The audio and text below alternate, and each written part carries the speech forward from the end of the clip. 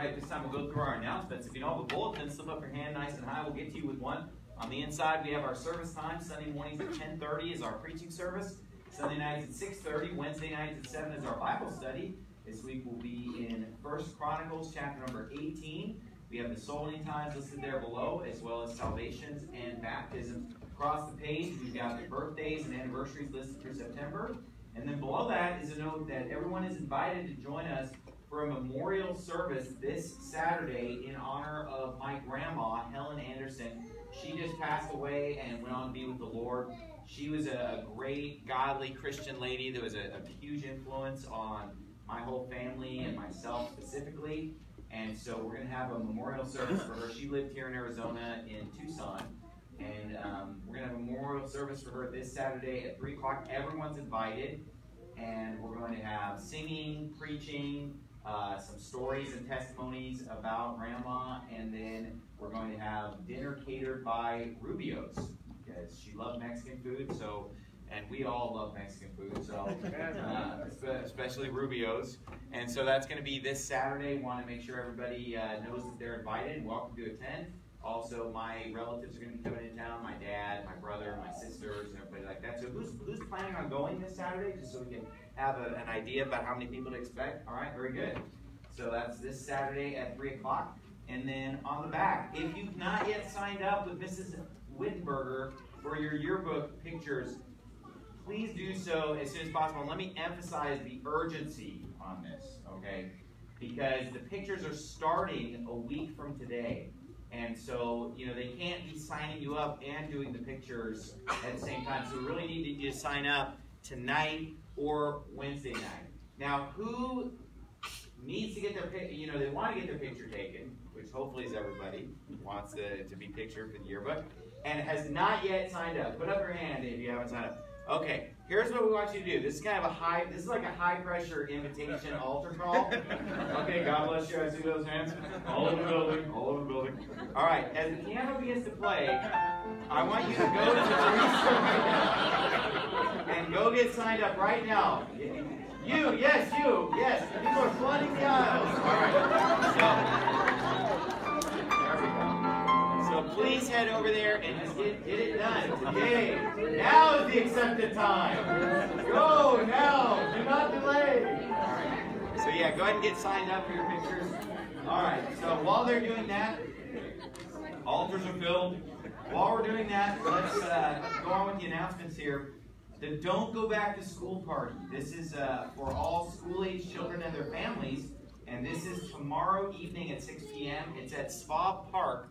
Spa Park is located just uh, a half mile south of here. So if you just go south on 48th Street, just a half a mile, there's a street called Vineyard. You take a left and the park that's right there is called Spa Park. We're going to have ice cream and water balloon fights.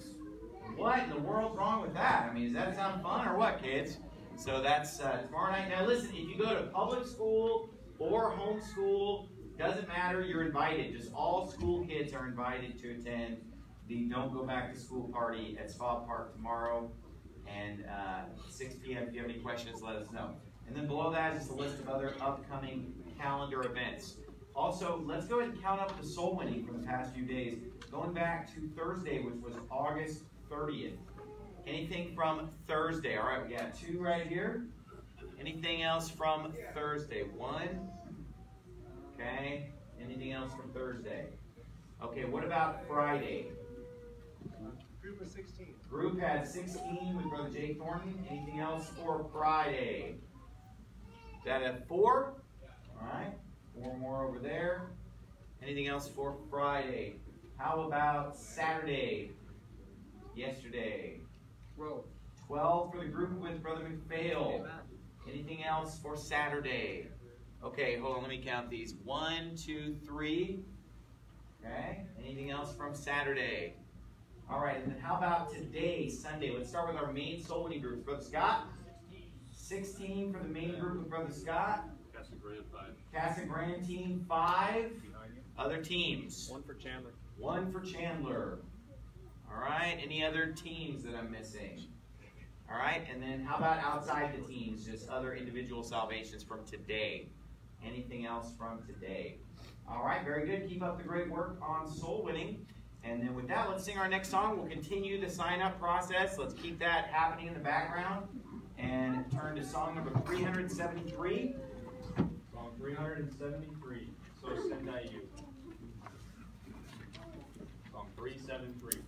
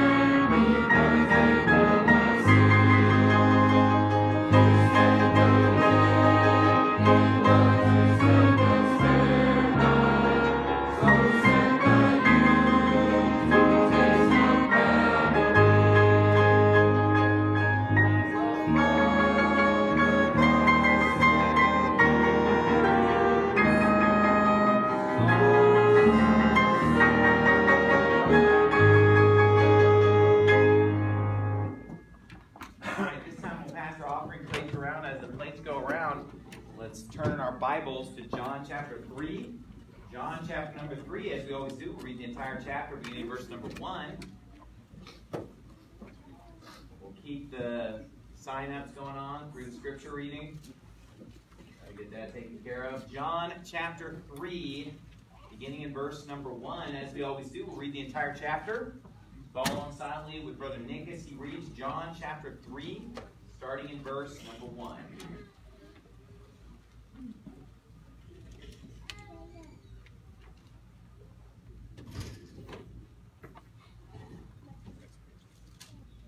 John chapter 3, the Bible reads, There was a man of the Pharisees named Nicodemus, a ruler of the Jews. The same came to Jesus by night and said unto him, Rabbi, we know that thou art a teacher come from God, for no man can do these miracles that thou doest, except God be with him. Jesus answered and said unto him, Verily, verily, I say unto thee, except a man be born again, he cannot see the kingdom of God. Nicodemus saith unto him, How can a man be born when he is old? Can he enter the second time into his mother's womb and be born? Jesus answered, Verily, verily, I say unto thee, except a man be born of water and of the Spirit, he cannot enter into the kingdom of God. That which is born of the flesh is flesh, and that which is born of the Spirit is spirit. Marvel not that I said unto thee, Ye must be born again the wind bloweth where it listeth, and thou hearest the sound thereof, but canst not tell whence it cometh and whither it goeth. So is everyone that is born of the Spirit. Nicodemus answered and said unto him, How can these things be? Jesus answered and said unto him, Art thou master of Israel, and knowest not these things? Verily, verily, I say unto thee, We speak that we do know, and testify that we have seen, and ye receive not our witness. If I have told you earthly things, and ye believe not, how shall ye believe if I tell you of heavenly things? And no man hath ascended up to heaven, but he that came down from heaven, even the Son of Man which is in heaven. And as Moses lifted up the serpent in the wilderness, even so must the Son of Man be lifted up, that whosoever believeth in him should not perish, but have eternal life. For God so loved the world that he gave his only begotten Son, that whosoever believeth in him should not perish, but have everlasting life. For God sent not his Son into the world to condemn the world, but that the world through him might be saved. He that believeth on him is not condemned, but he that believeth not is condemned already, because he hath not believed in the name of the only begotten Son of God. And this is the condemnation but light is come into the world, and men love darkness rather than light, because their deeds were evil. For everyone that doeth evil hateth the light, neither cometh to the light, lest his deeds should be reproved.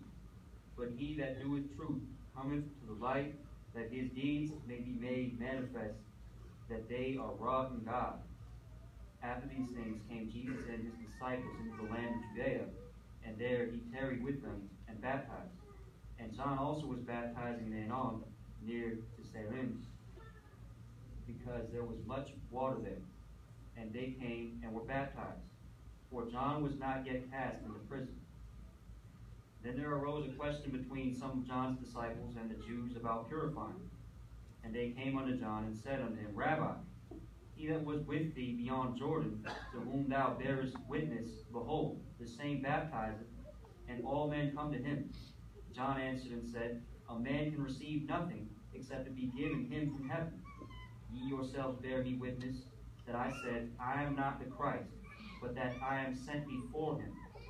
He that hath the bride is the bridegroom, but the friend of the bridegroom, which standeth and heareth him, rejoiceth greatly because of the bridegroom's voice. This my joy therefore is fulfilled. He must increase, but I must decrease. He that cometh from above is above all.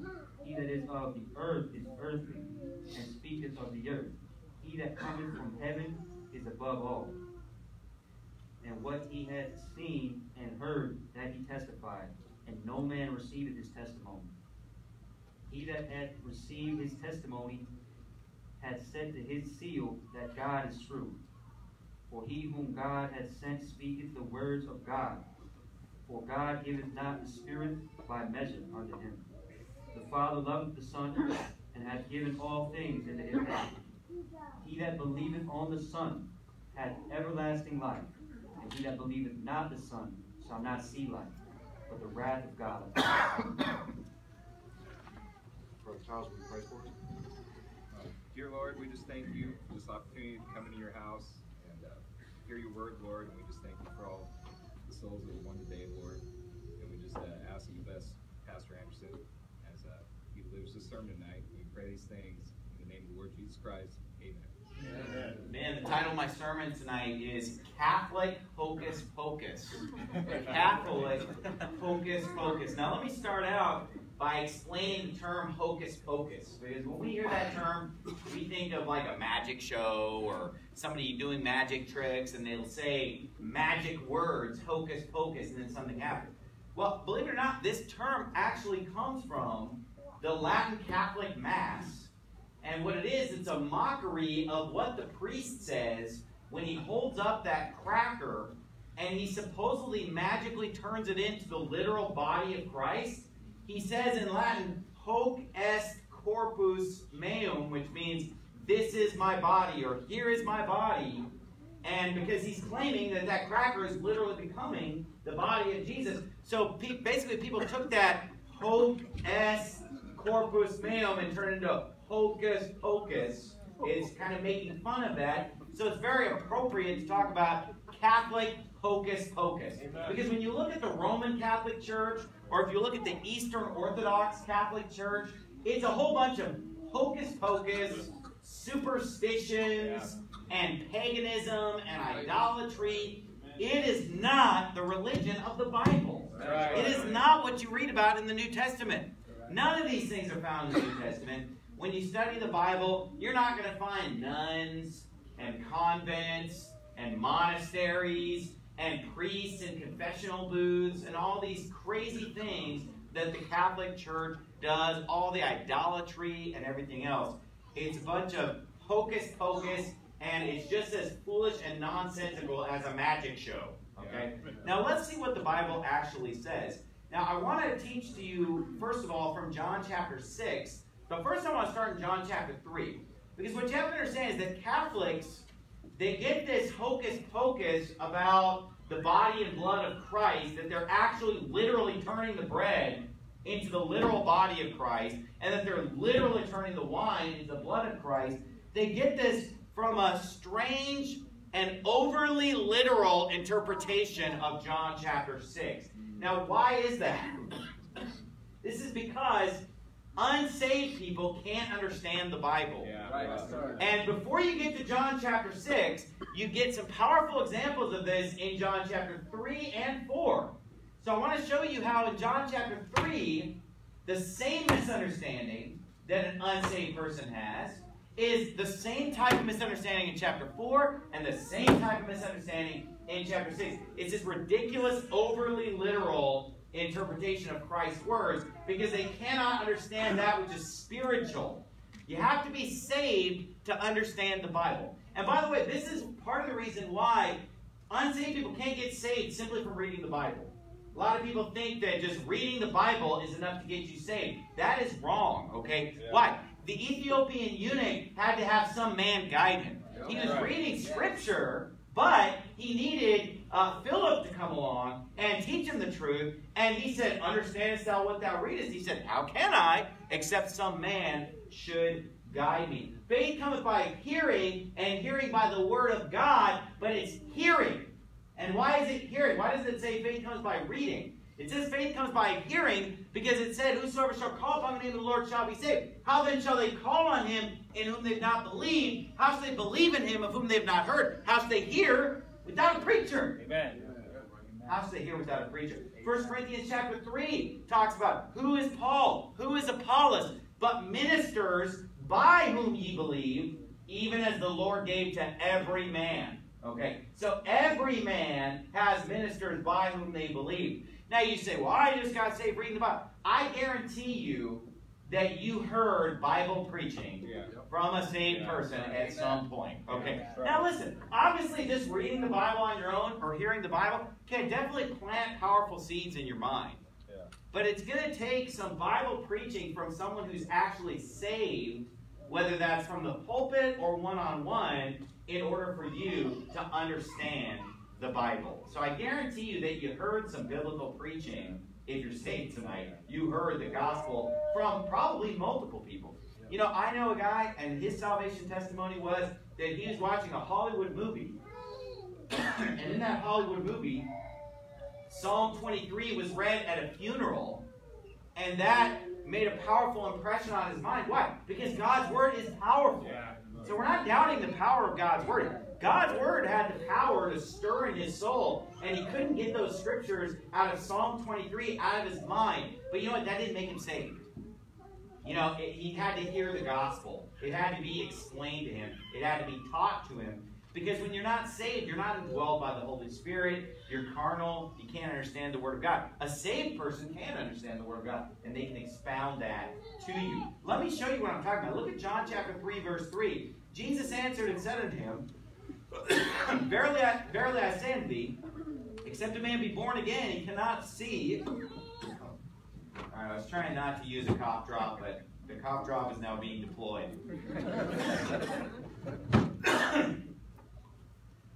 Except a man be born again, he cannot see the kingdom of God. Nicodemus saith unto him, How can a man be born when he's old? Can he enter the second time into his mother's womb and be born? Jesus answered, Verily, verily, I say unto thee, Except a man be born of water and of the Spirit, he cannot enter into the kingdom of God. That which is born of the flesh is flesh, and that which is born of the spirit is spirit. Marvel not that I said unto thee, you must be born again. So, what is Nicodemus's misunderstanding here? What's his problem? He's taking an overly literal interpretation, isn't it? Yeah. Jesus tells him, you got to be born again. He's like, well, how can I enter the second time into my mother's womb and be born. He doesn't understand this is born spiritually. He's got to be born of water. That already happened when he was physically born, and his mother's water broke. That's the physical birth, the water birth. But now he's got to be born of the Spirit. Being born of the water is not enough. That which is born of the flesh is flesh. That's the water birth. That which is born of the Spirit is spirit. That's the new birth, being born again. He didn't get it. It went right over his head, didn't it? Go to John chapter 4, verse 10. John chapter 4, verse 10. Jesus answered and said to her, If thou knewest the gift of God, and who it is that saith to thee, Give me to drink, thou wouldst have asked of him, and he would have given thee living water. Now, what's the mistake of the woman at the well? She's unsaved, so what does she think? This overly literal, ridiculous interpretation. The woman saith unto him, Sir, thou hast nothing to draw with, and the well is deep. From whence then hast thou that living water? Art thou greater than our father Jacob, which gave us the well, and drank thereof himself, and his children, and his cattle? Jesus answered and said unto her, Whosoever drinketh of this water shall thirst again. But whosoever drinketh of the water that I shall give him shall never thirst. But the water that I shall give him shall be in him a well of water springing up into everlasting life.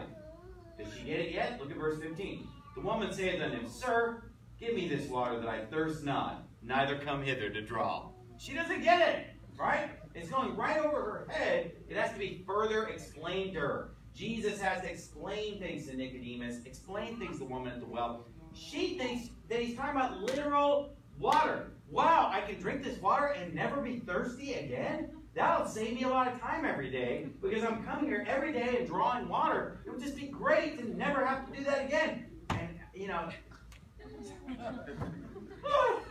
you know, he's trying to get her to understand spiritual things. Now go to John chapter 6, and people make the same error in John chapter 6. And this is the importance of reading the Bible in context.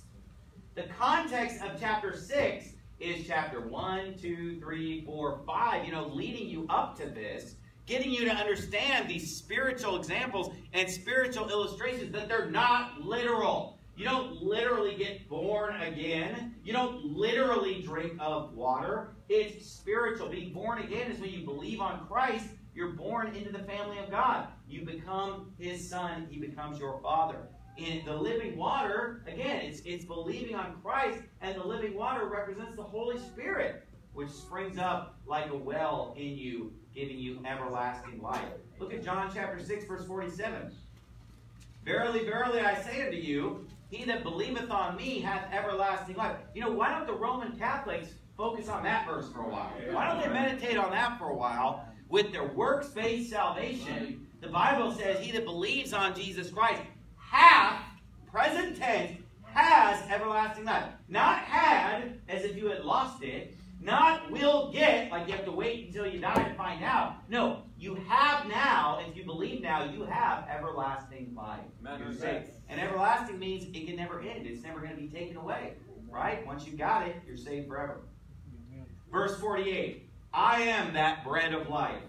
Your fathers did eat manna in the wilderness and are dead. This is the bread which cometh down from heaven, that a man may eat thereof and not die. I'm the living bread which came down from heaven. If any man eat of this bread, he shall live forever. And the bread that I will give is my flesh, which I will give for the life of the world. Now, it's pretty obvious what Jesus is saying here, but again, they take this ridiculous, overly literal interpretation, verse 52. The Jews therefore strove among themselves, saying, How can this man give us his flesh to eat? Now, does that not remind you of chapters 3 and 4? It's the same exact issue.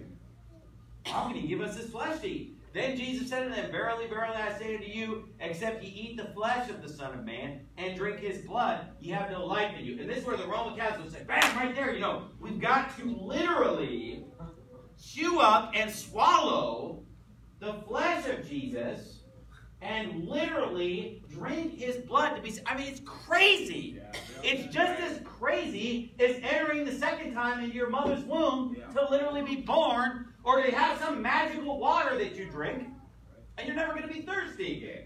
It's nonsense, okay? But this is what they'll point to. Uh, you go out soul winning, and if anybody tries to defend this, this is what they'll pull out at you. And I've had many Catholics pull this out at me. In fact, where's my son? So, Did they pull this out at you today? Oh, yeah. yeah, he was out soul winning, and he had some really dyed in the wool Roman Catholic pull out this John chapter 6 on him it's crazy the way they interpret this. Whoso eateth my flesh and drinketh my blood hath eternal life, and I'll raise him up at the last day. For my flesh is meat indeed, and my blood is drink indeed. He that eateth my flesh and drinketh my blood dwelleth in me, and I in him. Now again, if this is literal, then I guess Jesus is going to literally come live inside you. You're going to literally live inside his body. That, that's crazy. It's a spiritual application, folks. But the natural man receiveth not the things of the Spirit of God. They're foolishness unto him. Neither can he know them because they are spiritually discerned. They are spiritually understood. But the carnal mind thinks, oh, I got to literally eat that flesh. I got to literally drink that blood. They don't understand that when Jesus says, I'm the bread that came down from heaven, what he's doing is he's using the manna that they ate in the wilderness as an illustration for the fact that he literally came down from heaven that he's not of this earth. He said, I'm from above, you're from beneath. You're of this world, I'm not of this world. Therefore I said unto you that you shall die in your sins, for if you believe not that I am he, you shall die in your sins. And see, the manna in the Old Testament represented God's word. Because he said that man should not live by bread alone, but by every word that proceedeth out of the mouth of God. In Deuteronomy 8 3, he fed them with manna to teach them that said to get up every morning and gather the manna, just like we're supposed to get up every morning and read the Bible and right. read God's Word. And then Jesus is what? The Word made flesh right. and dwelling among us. He's that bread that came down from heaven, not literally, but spiritually, figuratively. Because Jesus Christ did not come into existence in the womb of Mary. Jesus Christ already existed before that because he's the eternal Son of God. Even in the Old Testament, he already existed. And he always will exist. He's the same yesterday and today and forever. So that's why he's like unto that bread in the sense that he came down from heaven. He's also like unto bread because he nourishes and feeds us. He's also like unto bread because he's the Word made flesh, and the Word of God nourishes and feeds us like bread. So this is a spiritual application. It says in verse 57, and this is a key verse, I'm going to come back to this. As the living Father hath sent me, and I live by the Father, so he that eateth me, even he shall live by me. This is like what he said, Man does not live by bread alone, but by every word that proceedeth out of the mouth of God. This is the bread. This is that bread which came down from heaven. Not as your fathers did eat manna and are dead. He that eateth of this bread shall live forever. These things said he in the synagogue as he taught in Capernaum. Many therefore of his disciples, when they heard this, said, This is a hard saying. Who can hear it? When Jesus knew in himself that his disciples murmured at it, he said unto them, does this offend you? Oh, well, let me change my message then. he said, Does this offend you? What and if ye shall see the Son of Man ascend up where he was before? So he's showing them that the problem that they're having with this issue of him being the bread that came down from heaven is that they don't believe that he came down from heaven. They believe he's an ordinary human being, and he's trying to tell them, I came down from heaven to do the will of the Father. And they don't believe, they say, Well, we know whence this man is. You know, is this not the carpenter's son? They think he's the son of Joseph and Mary. They don't believe that he's divine. They don't believe in his deity. It says, What and if you shall see the Son of Man ascend up where he was before? Verse 63. It is the spirit that quickeneth, the flesh profiteth nothing. Now look, what does it mean to quicken? It means to bring to life. So what did he say? You have to eat the flesh of the Son of Man in order to have life in you. Is that literal? Of course not. Just like being born again is not literal. Just like drinking living water is not literal. Just like uh, uh, any of these things are not literal. What he's saying when he says you have got to eat the Son of Man in order to have life in you, he says, look, it's not the literal flesh. Because he says in verse 63, it's the spirit that quickens. It's not literal flesh in your mouth that gives you life. It's the spirit that gives life. The flesh profiteth nothing. That's right. The flesh, so do, are we supposed to literally eat the flesh of Jesus? Eat his literal flesh? No, the flesh profits nothing. It's the spirit that quickeneth. And then he explains it in a way that's impossible to misunderstand. In the next phrase, he says, The words that I speak unto you, they are spirit and they are life. So that bread from heaven, that manna represented the Word of God. The Old Testament already taught us that. Jesus Christ is the Word made flesh. And when Jesus is saying, hey, if you don't eat the flesh of the Son of Man, you have no life in it, he's not saying to take a bite of his literal flesh. What he's saying is that they need to be saved through the Word of God. Amen. It's the Word of God that saves us. It's the Word of God that quickens us. If we don't ingest the word of God, we have no life in us. The words that I say unto you, they are spirit, and they're what? The flesh profiteth nothing. Amen. So we're not saved by eating the literal flesh of Jesus. We're saved by the word of God because the entrance of God's word gives life. Faith cometh by hearing, hearing by the word of God. The word of God comes in, and that's what creates faith in our hearts. Where does the faith come from? Hearing the Word of God. So we go to the lost person and preach to them the Word of God. And then when they hear the Word of God, now something is stirred. But they have the choice whether or not they're going to accept the Word of God or reject the Word of God. And not only that, but the Word of God also has to be explained to them because otherwise they'll walk away like these people with the wrong understanding. Even when Jesus explains it to them, many of them still don't get it. Some of them do, some of them don't. But he flat out says, it is the spirit that quickeneth, the flesh profiteth nothing. So how can you walk away saying, oh, yeah, we got to have Jesus' flesh to save us? What did he just say? It's the spirit that quickens. What gives you life? The spirit. The flesh profits nothing. And then he says, what is the spirit? He says, the words that I say unto you, the words that I speak unto you, they are spirit and they are life. Okay, so the way that you're going to get Christ's flesh is not by literally eating it, it's by believing the word of God. Okay, that's what the Bible actually teaches. And then he says in verse 64, But there are some of you that believe not. For Jesus knew from the beginning who they were that believed not and who should betray him. So what we get from this is that there are people who don't believe that Jesus came down from heaven. And because they're refusing to believe in his divinity, his deity, Son of God, the fact that he came down from heaven, because they don't have the faith, they can't understand. So they're stuck on this hyper literal interpretation of eating his flesh. And they're like, well, this is hard. You're, you know, you're, you're suggesting something very difficult here, that we eat your flesh and drink your blood. And he's like, no, the flesh profiteth nothing. It's the spirit that quickeneth. The words that I say unto you, their spirit and their life. But there are some of you that believe not. That's the problem right there. So they didn't believe. If they believed, this would have under, this would have made sense to them. They would have understood this. Now flip over to Matthew 26. What the Catholics will do though is they'll say, "Oh, well, the way that you get this, eating of his flesh and drinking of his blood, is through the Eucharist." Right? And the word Eucharist just simply means the giving of thanks.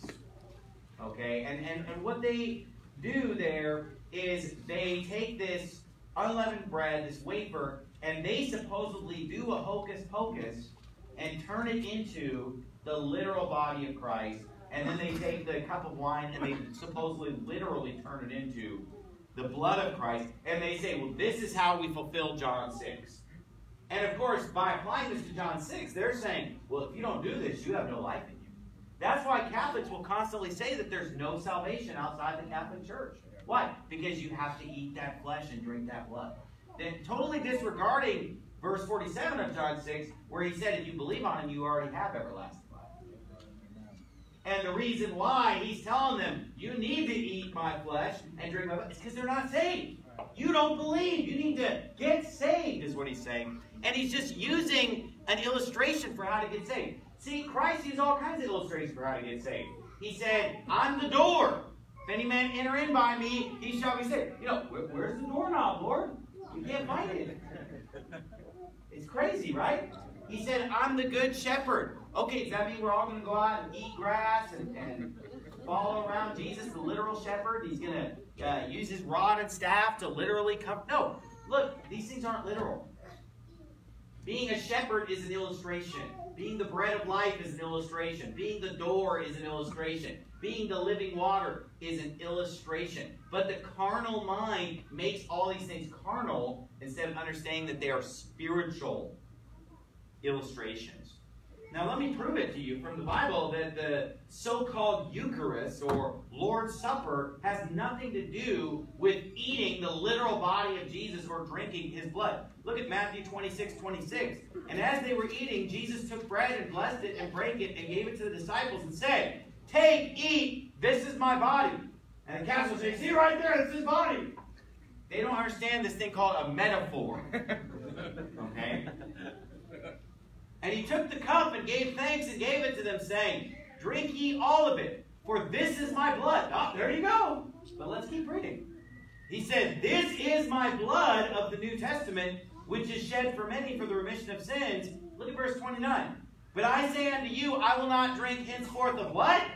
this fruit of the vine. Now this is supposed this is after Jesus already said, okay, this bread is my body, this cup is my blood. So according to the Catholics, he said hocus pocus, and it actually became his body and blood. But then after the next breath he says, Well, I'm not going to drink of this fruit of the vine? So after he pronounces it, this is my body, this is my blood of the New Testament, he turns around and says, Well, I'm not going to drink of this fruit juice. again. I'm not going to drink of this fruit of the vine again. So guess what? It's still fruit juice. Right. It didn't stop being the fruit of the vine, did it? Look at verse 29. But I say unto you, I will not drink henceforth of this fruit of the vine. It's still just juice. Amen. Until that day when I drink it new with you in my Father's kingdom. And by the way, notice it doesn't even say wine. Because they say, oh, you know, you Baptists, you know, you aren't drinking the real stuff. You know, the, the hard stuff. well, if it's an unleavened bread, shouldn't it be an unleavened beverage?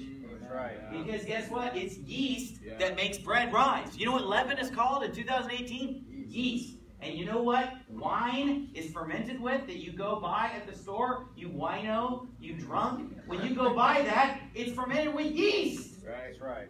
So why would we have a bread that's free from yeast and then a wine that's fermented on yeast? Nonsense. Right. Jesus Christ had unleavened bread and he had the fruit of the vine, it says. It's just fruit juice. The fruit of the vine is just grape juice. That's what it says. Fruit of the vine. And he said, after he already declared, oh, this is my blood, it's still juice in the next verse. So it shows that it didn't literally become that. See, the Roman Catholics believe that it's literally the body of Christ. And not only that, but they say that even if an unsaved person eats it, they're, they're still eating the body of Christ. Because it's literal. I mean, when, when he holds that up and says, Hoc est corpus meo," you know, hocus pocus. When he says that, it's literal to them. And by the way, the Lutherans believe the same thing. Yeah. Did you know that? Lutherans believe the same thing and they claim it's literal, and that even if an unsaved person eats it, you know, it's not gonna, it's not, you know, they're eating it under their damnation, but they're still eating Jesus. I mean, it's it's just crazy. So, so faith isn't even a factor in the person who's eating it. It's just all whether the priest performs his ritual and magic on it. So Roman Catholicism is a hocus pocus, pagan, idolatrous religion. It's not biblical. But let me go over some other hocus pocus of Catholicism. Who here is a former Catholic? You used to be Catholic. Look, look around. Lots of people all over the building that were raised this way. You know about some of the hocus pocus that goes on. It's a very superstitious religion, and it's very similar in some ways to a magic show when you go to the Catholic Mass or the Catholic Church. So I'm going to give you three different hocus pocuses, or I don't know if it's ho- hocus pocus or something. But no, and we could we could talk about all kinds of hocus pocus with the Catholic Church, but I, am not. I've never been a Catholic, so I can't um, speak from experience, but I can speak from study and research and speaking to those who have been uh, Catholics or Orthodox. And, and by the way, everything I'm preaching, you can apply this all to the, to the Orthodox Church. Right? Yeah. Don't think that the Russian Orthodox is somehow better than Catholic. In most ways, it's worse. Okay, and we'll get to that a little later. But hocus pocus number one is transubstantiation. And that's what this doctrine's called, where they literally supposedly turn the bread into his body and the, the cup into his blood. So hocus pocus number one is transubstantiation. Hocus pocus number two is holy water. Yeah. okay, now this, this concept of holy water in Roman Catholicism is a total hocus pocus. It has no basis in Scripture whatsoever. In fact, I, I looked it up on Wikipedia, and I, I like how it said this here. I'm going to read you some stuff off the Wikipedia page for Holy Water. And of course, everybody acts like, oh, Wikipedia. well, guess what? At the bottom of Wikipedia are all the sources. Yeah. Right. So you can fact check everything. You got all the footnotes and everything. So don't disparage Wikipedia. Correct. Okay, it has great yeah. footnotes at the bottom, and you can do your diligence and check these things for yourself. But it says on the Wikipedia article, the use of holy water used by various sects of, of Christianity, is Catholic, is a non-scripturally based practice, only attested to in late Catholic documents. So of course it's not in the Bible, holy water. Certainly it's not in the Bible, but it's not even in the early Catholic stuff, late Catholic documents. Okay, there's a section called use and storage. Holy water is kept in the holy water font, which is typically located at the entrance of the church. Smaller vessels called stoops are usually placed at the entrances of the church to enable people to sprinkle themselves with it while entering it. In recent years, with the concerns over influenza, new holy water machines that work like an automatic soap dispenser. now, if this water is so holy, why does it make you sick? if it's so holy, it can't even kill germs. In the Middle Ages, the power of holy water was considered so great that in some places fonts had locked covers to prevent the theft of holy water for unauthorized magic practices. Now, by saying unauthorized magic practices, that's implying that there are some authorized magic practices. You know, we're going to do our hocus pocus, we're going to do our magical holy water trick, but you dare not do any unauthorized magical use. So we got to lock this stuff up. It says here that the constitutions of Archbishop Edmund Rich prescribes that fonts are to be kept under lock and key because of witchcraft. Proper disposal. Yeah, how do you get rid of this? In Catholicism, holy water, as well as the water used during the washing of the priest's hands at Mass, is not allowed to be disposed of in regular plumbing. Oh no. Roman Catholic churches will usually have a special basin that leads directly into the ground for the purposes of proper disposal. Hygiene. Holy water fonts have been identified as a potential source of bacterial and viral infection. In the late 19th century, bacteriologists found staphylococci, forgive me if I pronounce these wrong, streptococci, colibacilli, Löffler's bacillus, and other bacteria in samples of holy water taken from a church in Sassari, Italy. So they're taking samples of the holy water. It's got staph in it. It's got strep in it. It's filled with disease. You know, all these different viruses and bacteria are in this holy water. the samples in that study were shown to have a wide range of bacterial species. This is a 1995 study. That was the first one was from the 19th century. Then in 1995, they found all kinds of wide range of bacteria species, some of which could cause infection in humans. During the swine flu epidemic of 2009, Bishop John Steinbock of Fresno, California, recommended that holy water should not be in the ponds due to fear of spreading infection.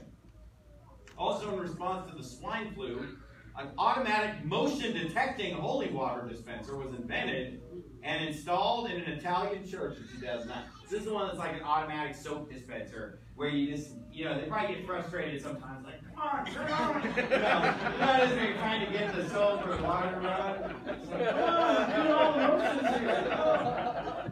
Oh. it's like, squirt, little water, all right. okay, Roman Catholics. This use of holy water and making a sign of the cross when entering a church reflects a renewal of baptism, a cleansing of venial sin, as well as providing protection against evil. It is sometimes accompanied by the following prayer By this holy water and by your precious blood, wash away all my sins, O Lord. Look, these people don't even believe that they're saved, because guess what? They're not saved. Amen. So they think they have to keep getting cleansed of their sin you know, we've already been washed in the blood. Amen. God has washed us from our sins in his own blood and made us kings and priests unto God and his Father. We're saved with a D on the end for done. Saved. Amen. Done. We're saved. We're not being saved. We're already saved. Amen. But they, every time, oh, cleanse me of my sin with this holy water and your blood also, you know, as an afterthought, right? First, we're being cleansed by the holy water. Something that's never mentioned in the Bible. You say, well, show us what the Bible says. I can't. There's no mention of holy water in the Bible. Here's the formula, the traditional Latin formula for blessing the water. Okay, now you, you don't know Latin, and I, I don't know Latin, but I can understand a lot of this just from knowing Spanish and, and Italian and languages like that. So some of you might be able to figure out some of this, okay? But I got the English translation. Let me just give you a little of the Latin, though, just so that you can get a feel for this. Exorcizo today. Can you figure out what that means? Like, I exorcise you. So, they're like performing an exorcism on the water. That's the first thing. Exorcizo te creatura aquae. I exorcise you, water creature. What in the world? is crazy. This is my translation on the fly. In nomine Dei Patris Omnipotentus, you know, in the name of Almighty God, et in nomine Jesu Christi Filii eius Domini nostri, et in nomine Spiritus Sancti, ut fias aqua exorcizata! Ad expugandam omnem potestam inimici et ipsum. I've seen on a lot of websites that I was building at ipsum inimicum eradicare et explantare malios cum Okay, all right, I'll read the English. I was just giving you a, a little feel I, here's the English translation on Wikipedia. I exorcise thee, like an exorcist, like an exorcism of water. What is a water demon? Is that in the first place? I exorcise thee, creature of water creature of water, in the name of the God the Father Almighty, in the name of Jesus Christ the Son, on that you may put to flight all the power of the enemy. So it's telling the water, water, I exercise you so that you can put to flight the enemy. and root out along with all his fallen angels through the power of our Lord Jesus. I mean, this is weird. I don't have time to read all this, but it's through the invocation of thy holy name, made secure against all attacks by the sprinkling of this water. I mean, this is very strange. So then there's another section, protection against evil. Catholic saints have written about the power of holy water as a force that repels evil. St. Teresa of Avila, a doctor of the church, who reported visions of Jesus and Mary, was a strong believer in the power of holy water and wrote that she used it with success to repel evil and temptations. Here's what she wrote I know by frequent experience that there is nothing which puts the devils to flight like holy water. I mean, there's just nothing like it. I mean, holy water sends those devils running away. I mean, this is hocus pocus Now, here's my favorite section of the Wikipedia article unofficial uses. There's some unofficial use going on. Holy water has also been believed to ward off or act as a weapon against mythical evil creatures such as vampires. Now, I didn't grow up Catholic, but I grew up with this. Because I had the Nintendo Entertainment System, 8-bit video game system, and I had a copy. My parents didn't like it. They made me get rid of it. But I had a copy of Castlevania 2.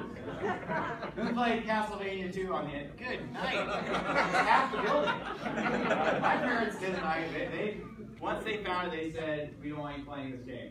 But anyway, in that game, you know, you're hurling little bottles of holy water, and it's wiping out zombies and vampires Right? I mean, well, I don't have to tell you, half the church is playing games. So, you know, Simon Belmont's throwing the holy water.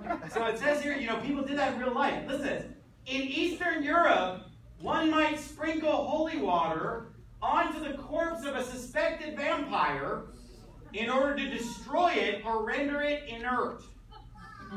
Thereafter, the concept proliferated into fiction about such creatures. So before the fictional vampire craze and, and all the video games and books and movies, you know, people would literally do this. These superstitious pagan Catholics, you know, they'd say, you know, that dead body looks harmless there. But I fear that tonight it's going to come out and be a vampire and haunt us. So we need to neutralize that sucker. So they'll get some holy water, pour some holy water on it, and that'll either keep it in the in the coffin at least, or destroy it. Either way, it's going to be rendered inert. Okay, oh, this is the holy one. Now, if you would flip over to John chapter 7, John chapter 7, and look, for those of you who, who didn't grow up Catholic, I brought a little demonstration for you. Okay, I'm going to demonstrate this. But in order to give you the full feel, I have to I have to dress up a little bit for this for this next part of the sermon. Because this isn't how Catholics dress, right? So I'm, I've got some, some stuff to put on here to give you a feel for this. so I'm going to be putting on my, my clerical robe here. And I've also got a, a, a mitre here.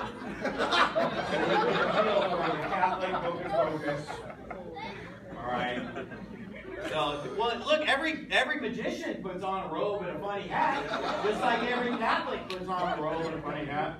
All right, so my wife made me this hat this afternoon. I'm very good with arts and crafts.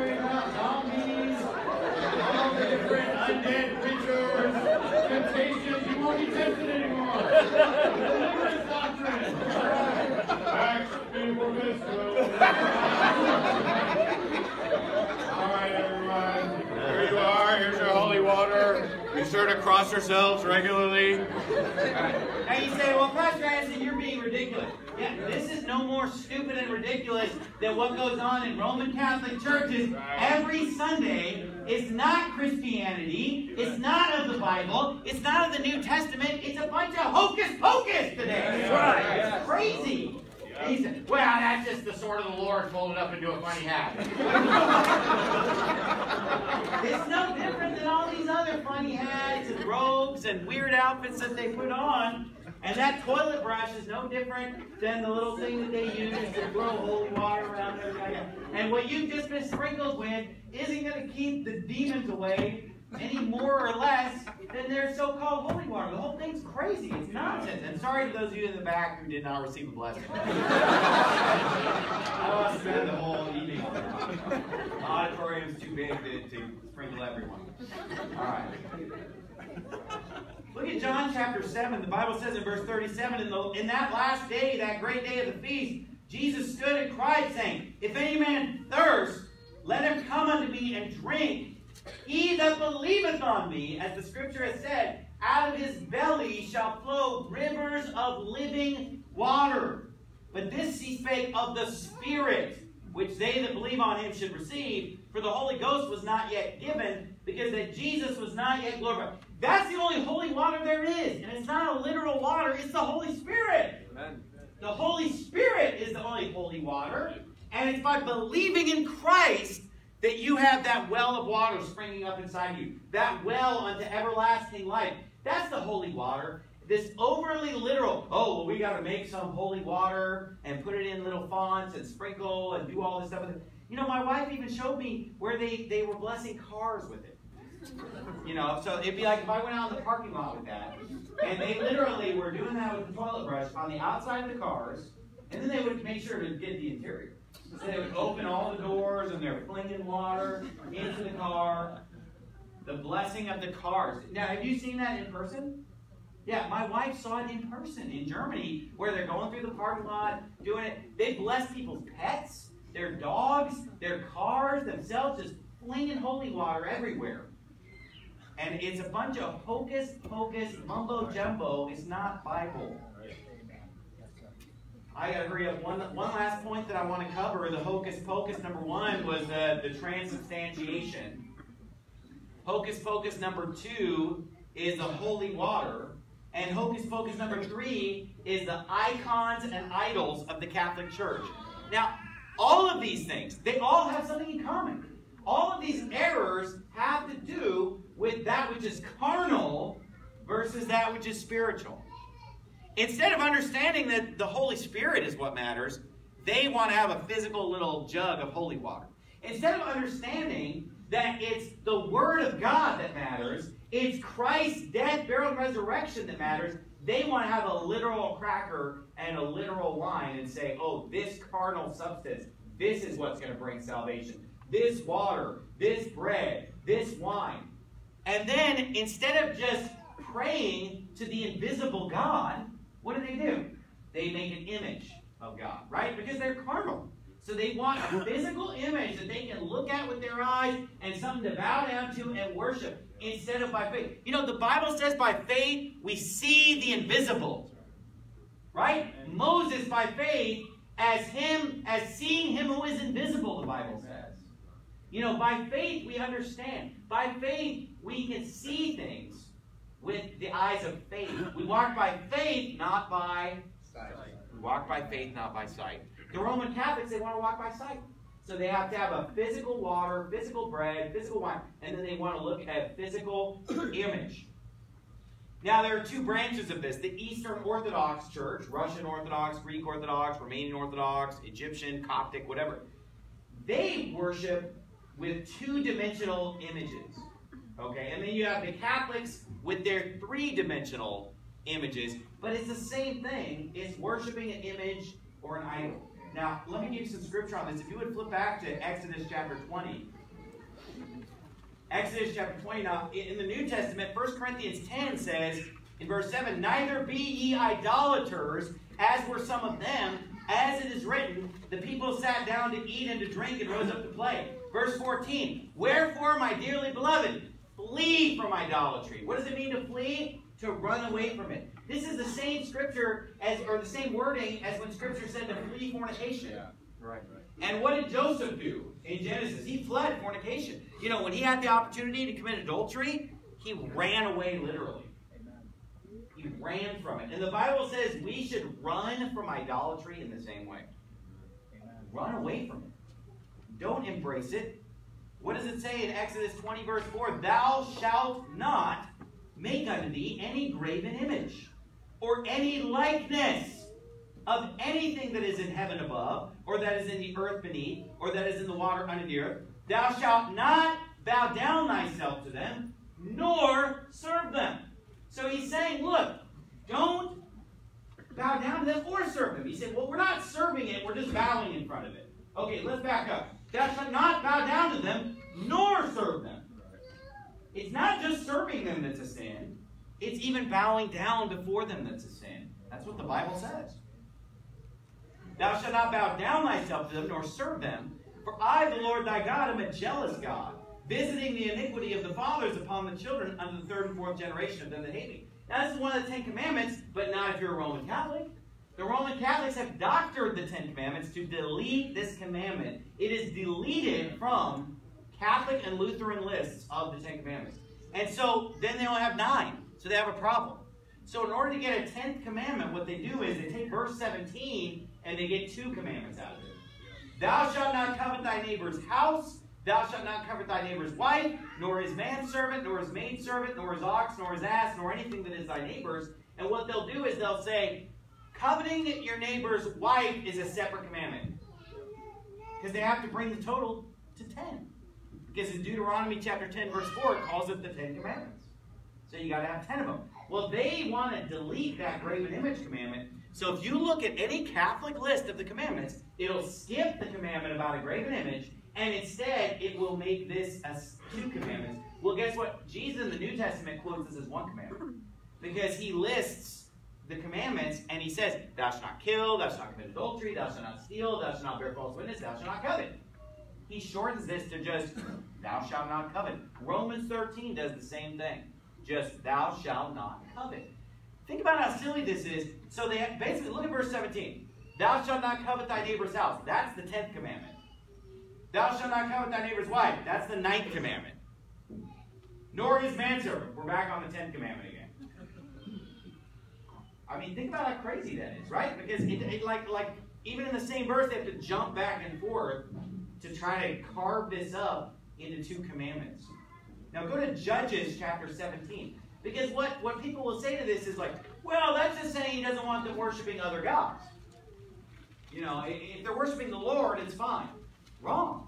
In Deuteronomy chapter 4, he says, remember, Above all, that when you went up into the mount, I'm paraphrasing, but he says, you saw no manner of similitude.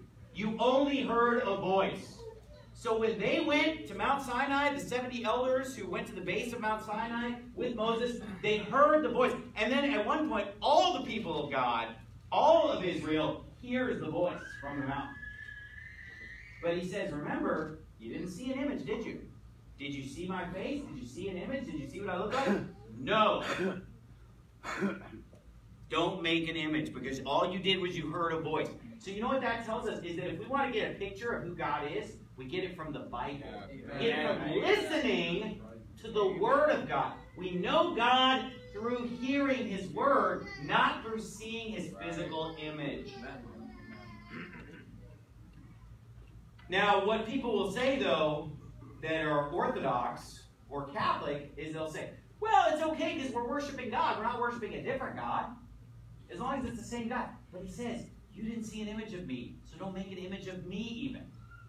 So the Orthodox will say, Well, making an image to God was impossible back then because Jesus hadn't been born yet. But once Jesus was born, you know, now we have God in the flesh here, so we can make an image of him. You already had God in the flesh in the Old Testament, when the Son of God walked up to Abraham in the heat of the day in Genesis chapter 18, right? I mean, the Bible says the Lord spoke with Abraham. What about all the Old Testament appearances of Jesus? Why don't you make an image of that? No, because you don't make a graven image of deity, period. Yeah, amen. Period. Amen. Look what the Bible says in Judges chapter 17. This is an example of idolatry and it says in verse 3 And when he had restored the 1100 shekels of silver to his mother, his mother said, I have wholly dedicated the silver unto the Lord. Look at the all caps. This is Jehovah. This is, do they have the right God? Yeah, the Lord, right? From my hand, from my son, to make a graven image and a molten image.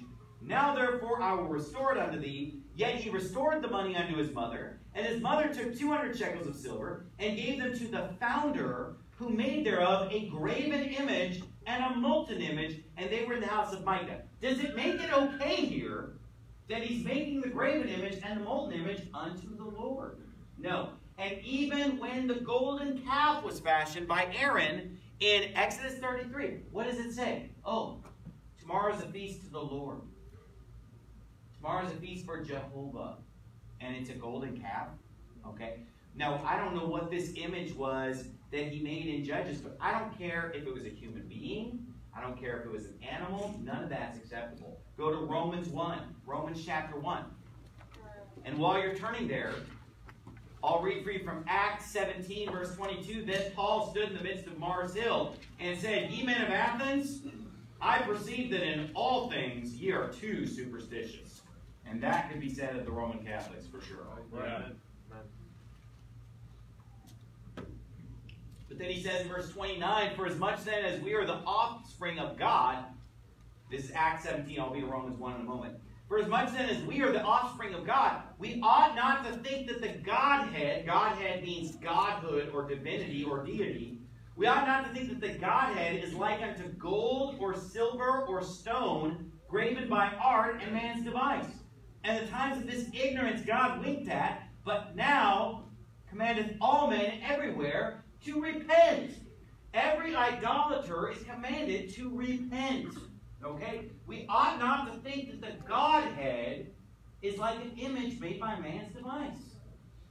That's why idolatry is wrong. Because you can't put divinity, deity, into a carved image. Romans 1, verse 21. Because that when they knew God, they glorified him not as God, neither were thankful. But became vain in their imaginations, and their foolish heart was darkened. Professing themselves to be wise, they became fools, and changed the glory of the uncorruptible God into an image made like to corruptible man, and to birds, and four-footed beasts, and creeping things. So it's not just making an idol of an animal that's wrong. We don't want to do what? We don't want to make the glory of the uncorruptible God into an image made like to a corruptible man either or an animal or a four-footed beast or a creeping thing. So whether, whether it's an animal or whether it's human, no graven image should represent God. Now, what's the justification for this? Now, the Orthodox Church is even worse idolatry than the Roman Catholics, period. Okay? They're hardcore about their images. Now, the Catholics believe all the same stuff about it that the Orthodox do when it comes to the justification for images but I'm going to approach this part of the sermon from an Orthodox perspective because the Orthodox are the most hardcore about their images. The Catholics are, are, still worshiping idols, but and they still believe the doctrine that's the foundation for Orthodoxy. But you know, the Orthodox, this is like everything about their religion today. In fact, and, and this is why I say in some ways Orthodoxy is even worse than Catholicism in, in multiple even though it gets a free pass from people, like people think like, oh, it's, you know, it's not as bad as the Catholics, it's Orthodox. Oh, Putin is a Christian, you know, he's Orthodox. now, yeah, Putin's a lot cooler than Obama and could have beat the living snot out of him. You know, those comparisons, you know, comparisons between Putin and Obama. But that doesn't make him a Christian. You know, I'm glad that right. Putin doesn't like homos.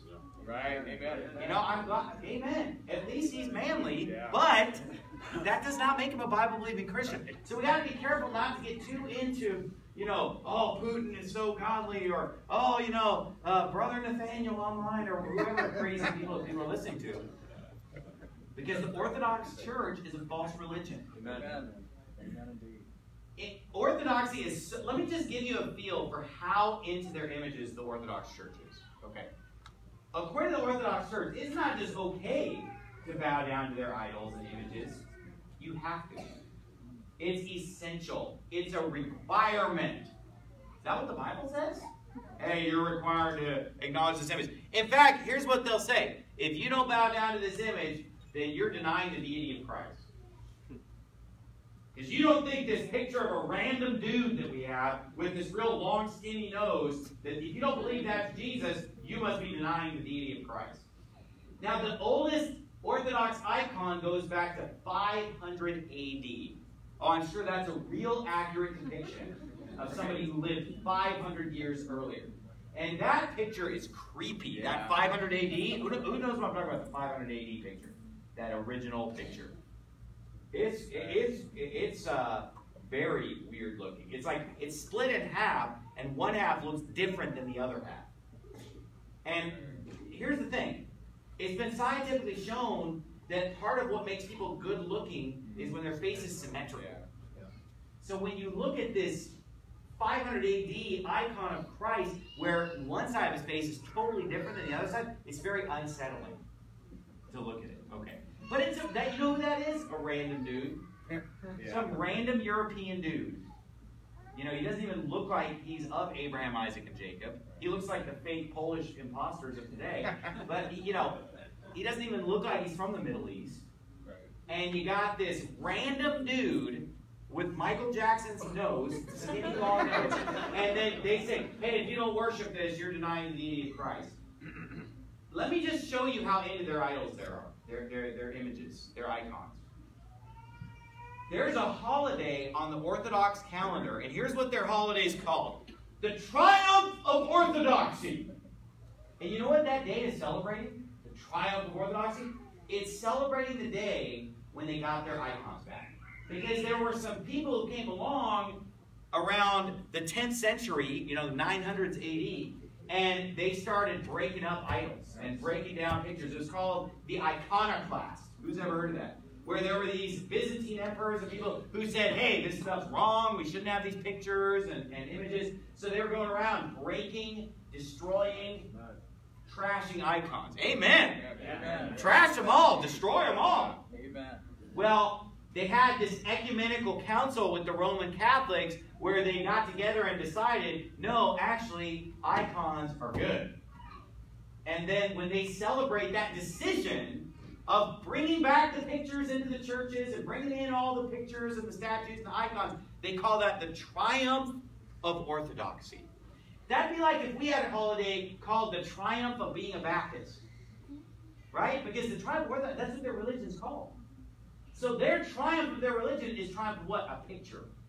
So their whole religion is based on what? The Bible? No, it's based on worshiping pictures. And in fact, when you enter an Orthodox church, you know what you're supposed to do every single Sunday? You have to prove to them that you believe in icons. Want to make sure you're not iconoclastic. You know, one of those throwbacks from 1,100 years ago. Because for the last 1,100 years, they've been firmly pro-icon. Okay, so when you walk in the Orthodox church, here's what you do. You cross yourself and bow down to a picture of Jesus, and then you kiss the icon. Not on the face, kiss it somewhere else hand, foot, the hem of his garment, whatever. Then you have to go kiss a picture of Mary. Then you have to go kiss all the pictures of the saints. I mean, it's just, I mean, you're just doing a lot of kissing of pictures and bowing down and crossing yourself and, and just going through all this focus, focus every time you enter unorthodox church. Then in their houses, they have a little shrine set up just like the Hindus. Look, did you know that before Jesus even walked on this earth, Hindus and Buddhists already had little shrines where they bow down and serve idols. And you know what? The Catholic's little shrine to Mary and the Orthodox little shrine to their icons is the same thing as what the Hindus were worshiping the devil before Jesus was even around. Because the Hindus have been worshiping the devil ever since they left the Tower of Babel and, yeah. and, and, and, and worshiped their goddess. Just like all these different religions of the world have their goddess worship, whether it's Mary or whether it's the Hindus or whatever. Now, here's what I looked up online as, you know, this is the Catholic justification of worshiping images. Catholic theology expressly affirms the image of Christ receives the same latria or worship that is due to God. So we're supposed to worship that picture of Jesus or statue of Jesus. If you're Roman Catholic, it's a statue. If you're Orthodox, it's a two-dimensional picture. It gets the same worship that God gives. Now, the reason that they make a point about this word latria is because they want to play word games about what it means to serve or worship. So what they do is they go back to the Greek and use two different words for serve. So back in the Greek, there's the word latria and then the word dulia. And they say, you know, well, when it comes to venerating the saints, we don't latrevo, but we do dulevo. Okay, so basically it's like this playing this word game. Well, we're worshiping, but we're not worshiping. You know, we're serving, but we're not serving. Now, where we get our word idolatry is from that word latrevo, right? So idolatry. So they're like, well, we're only latrine Jesus. You know, we don't latrine, so it's not idolatry, because we're just doing this other word for serve or worship. How do you like that? But here's what they say. In the case of an image or saint, the worship should not be latria, but rather dulia. While the Blessed Virgin Mary receives hyperdulia. I mean, come on. Is this stupid? Yeah. Well, this is, where's all this in the Bible? what a joke. Well, we're only having latria toward a picture of Jesus. Hey, it's idolatry. Yeah. Because that's an idol. It's an image. say, well, you're saying that Jesus is God. No, I'm saying that that random dude isn't God. Right. I don't even know who that guy is. And if you notice that there's all these different pictures of Jesus and it doesn't even look like the same guy. I mean, look at the Roman Catholic pictures of Jesus. Look at the Orthodox pictures of Jesus. Look at the Mormon Jesus. Right. It's a different guy. Right. Which one is it? Who's the real guy? Who knows? Well, the Orthodox will say, well, it's our guy. Your guy is the scariest looking one.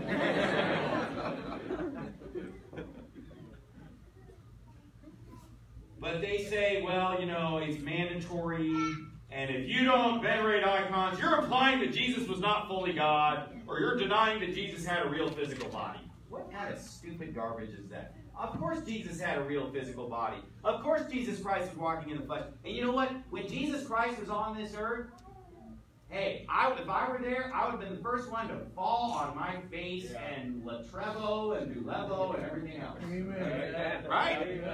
I'll even hyper Dulevo. I'll hyper Latrevo. You know what? It's stupid. I mean, yeah, we're just going to fall on our faces and worship Jesus Christ. We'll do that when we get to heaven. Yeah. We would have done that when he was on this earth, but not an image, not a picture.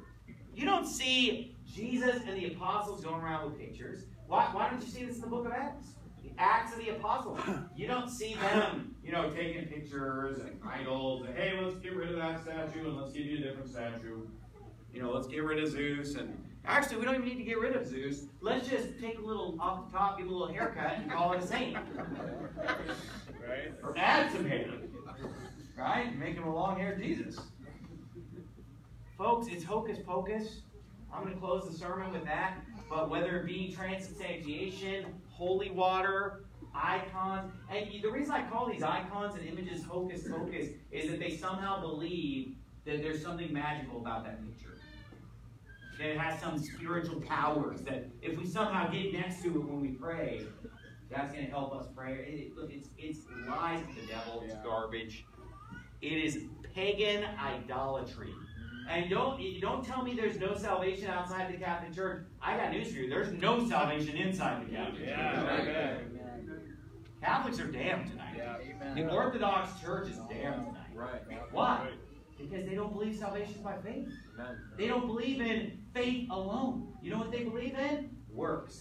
Right. You know what they believe in? Hocus pocus, magic, spells, witchcraft, idols, and they can polish the apple and try to spiritualize it all they want. But it's a bunch of spells and incantations, chanting, witchcraft, sorcery. It's of the devil. It's demonic. It's filled with demons. The Bible says the things that the Gentiles offer unto idols, they offer unto devils.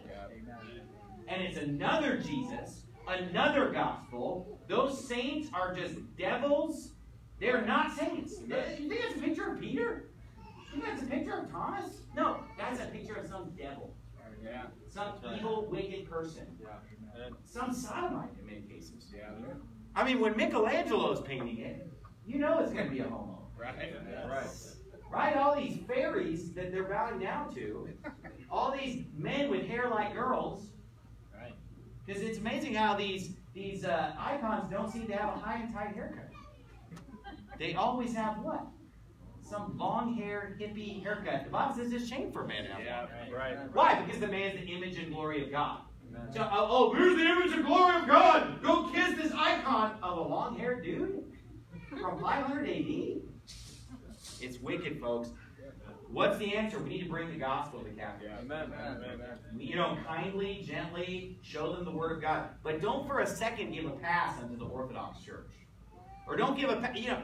Look, one of the reasons why I became a fundamental Baptist, because look, I've been saved since I was six years old. And I grew up fundamental Baptist in the beginning. But for about five years, we got out of the fundamental Baptist movement and we were going to uh, the denominational Baptist churches. They were of the North American Baptist Convention. And, you know, they had the NIV and they had no soul winning and they had the rock and roll. And we went to those churches for what? Do you want to know what made us switch? Where we got fed up and said, that's it, because it was kind of a worldly phase for our family, and, and you know, we were, we were just going to church, and um, it was a dead church, obviously. Doesn't even have the King James. We still had a King James in our in our lap, but the preaching was from the NIV. You know what got us out of it? I'll, I'll tell you what made us switch was we started getting angry at them saying that Catholics are saved. That's what made us. I mean, we switched from one to the other. We went to a church for years and we quit the church because my parents went to a Sunday school class and they got up in a Baptist church and they were talking about a really dark point in the Catholic Church. And they said, at this point, some of the popes, you know, some of the popes weren't even saved.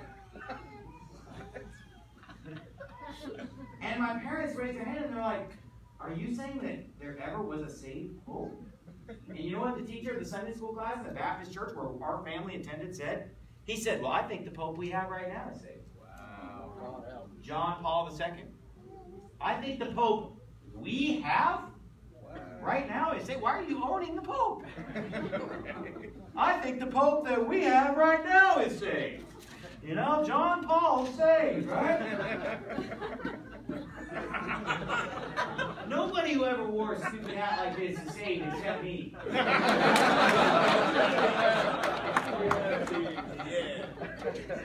but they, you know, Oh, I think the Pope had diagnostic. And you know, my parents were just blown away by that. Wow. They're shocked by that. And they're talking about, oh, I know a Catholic priest who's saved. We're like, what in the world? And you know what? We switched churches. And we, we went to a different church, and then that church turned out to be even worse. And believed all the same stuff. They all thought that Catholics are going to heaven.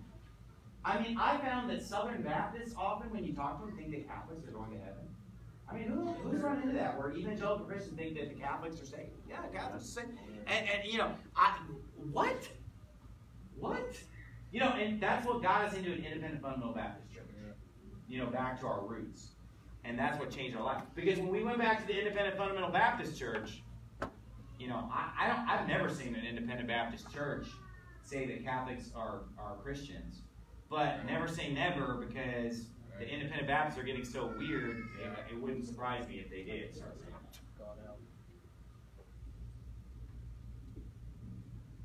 Folks, you're not doing any favors to the Catholics by pretending that they're saved. Yeah, right. That's right. Yeah. You're not doing any favors to the Orthodox by pretending that they're saved. We need to realize and yeah. come to grips with the fact that they're not saved yeah. so that we can do what? Get them saved. Amen. That's right. Okay. Get them saved. And not just think, oh, they're good to go. Wrong. They're good to go to hell. They need to get saved. And look, you can't be a Catholic and a Christian. Because mm-hmm. to be a Catholic, you got to believe in work salvation. And to be uh, an Orthodox, you're kissing images of some other God, some fake dude. That is not Jesus. I don't know who that guy is. I don't know what his name is. You know, the Orthodox are going to, maybe they'll run into him down in hell and be like, you look familiar. You're the guy I've been kissing and praying to. Thanks a lot for winding me up down here, buddy. Because, you know, he's not going to be in heaven, that guy. I, I mean, I'd be shocked. Because I'm sure it's a demon or a devil, you know, that possessed that guy that, that would pose for that picture. Here, let me be Christ. It's wicked. All right, time word of prayer. Father, we thank you so much for the truth. We thank you for the Bible, the New Testament. Lord, I pray that every person who's in this building tonight would read their Bible. Because, Lord, if we read our Bibles, we'll never fall for this garbage. Anybody who reads the New Testament, anybody who reads the Bible and has the Holy Spirit living inside them, would never fall for any of this for a second because none of it's in the Bible. But, Lord, I just pray that you would just give us the, the wisdom and the, the, the, the opportunity and the ability to win as many Catholics and Orthodox to the Lord as we possibly can because they're on their way to hell, Lord. Please help us to reach them. And just uh, guide us to the ones that are receptive so we can pull them out of this pagan, superstitious, idolatrous religion, Lord. In Jesus' name we pray. Amen. Amen.